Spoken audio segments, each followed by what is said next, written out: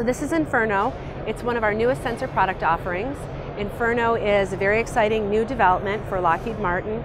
It's a modular approach to a targeting or ISR sensor.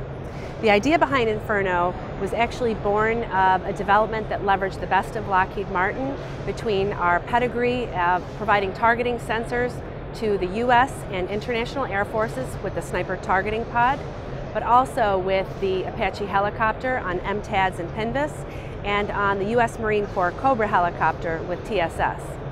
Combined with that targeting pedigree, Lockheed Martin has another product called Gyrocam, which leverages low-cost manufacturing philosophy and commercial off-the-shelf components.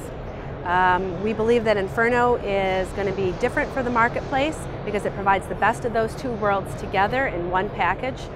It's a modular concept, uh, targeting sensor or ISR sensor. And what that means is users will have the opportunity to maintain the sensor themselves uh, with line replaceable units. Users only have to spare the parts that they need the most. For example, if you need a replacement laser rangefinder designator, you just spare the line replaceable unit for that particular part. Um, by comparison, some of our other products that are in the market, that some competitor products that are in the market today, you have to spare the entire sensor system. So we believe that this not only increases opportunities for uh, a modular approach to supporting missions, um, it's also much more maintainable and it's inherently more upgradable over the life cycle of this particular product. In 2009, Lockheed Martin acquired Gyrocam Systems Limited, and Gyrocam was the provider of sensor systems that were a quick reaction capability for the U.S. Army and the Air Force.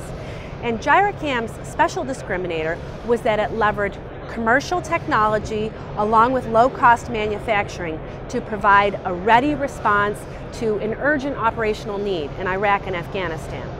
So that same philosophy of low cost and commercial off-the-shelf supply chain was leveraged in developing Infirno. So we get the best of Lockheed Martin's targeting pedigree and the best of low cost manufacturing and commercial off-the-shelf technology.